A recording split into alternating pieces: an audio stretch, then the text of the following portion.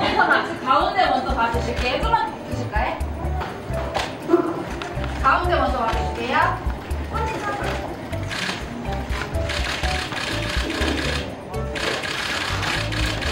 그리고 같이 왼쪽도 한번 봐주실게요. 두분 같이 손 한번 부탁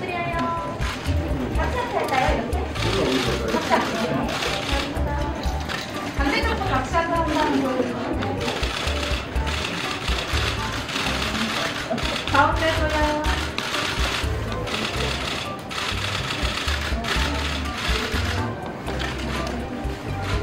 자, 보라트도 한번 해주세요. 가운데부터 하실게요. 왼쪽 한번 같이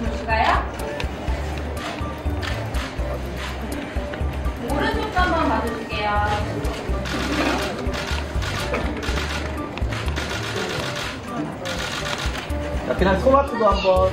네? 소라트.